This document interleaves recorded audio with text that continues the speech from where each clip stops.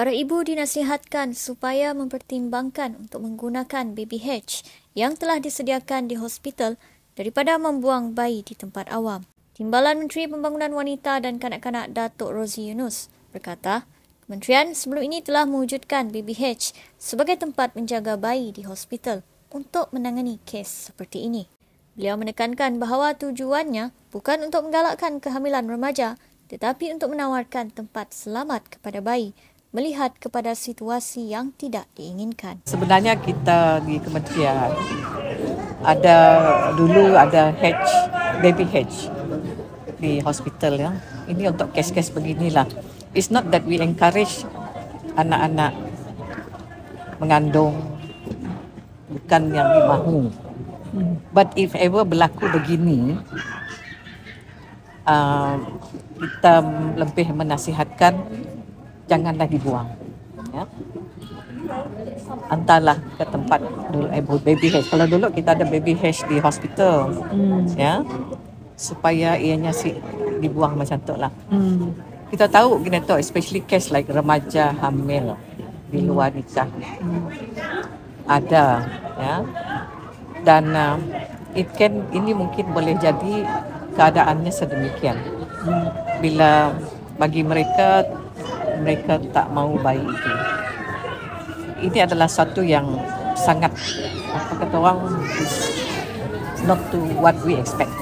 Beliau berkata demikian ketika ditemui pemberita selepas merasmikan Majlis Perasmian Pesta Kanak-Kanak Sarawak SCF 2023 di Perkarangan Pustaka Negeri di sini hari ini.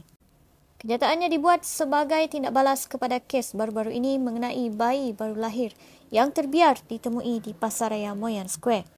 Menjawab kebimbangan remaja yang menghadapi kehamilan tidak diingini, Rose memberi jaminan bahawa bantuan sentiasa ada.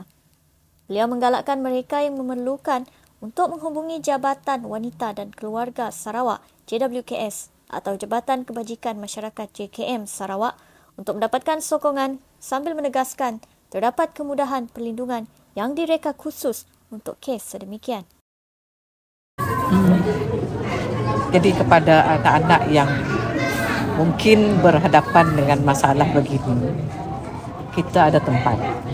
Ya, kita ada tempat. So come over to apa datanglah ke pejabat wanita kita, jabatan wanita satu pada pejabat kebajikan kita.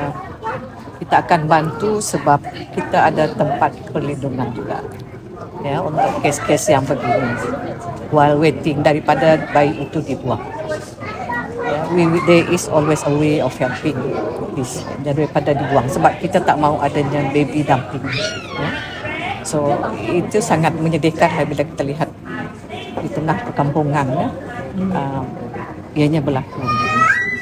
So kita harap uh, kalau adalah anak-anak kita yang bermasalah sedemikian there's always a place di Jabatan Wanita kita ada helpline yang kita boleh call up and mohon nasihat dan sebagainya. Rozi menambah bahawa bayi tersebut berkemungkinan diletakkan di bawah jagaan JKM untuk menyediakan penjagaan yang diperlukan. Bergantung pada keadaan, beliau menambah bahawa kanak-kanak itu juga mungkin dipertimbangkan untuk diambil oleh keluarga yang sesuai. Terdahulu tular satu video berdurasi 14 saat berkenaan seorang bayi perempuan yang masih hidup dijumpai di dalam sebuah kotak oleh orang awam berhampiran tempat pembuangan sampah di Moyan Square pada Jumaat. Sementara wanita berusia 22 tahun yang merupakan ibu kepada bayi tersebut telah berjaya ditahan untuk siasatan lanjut.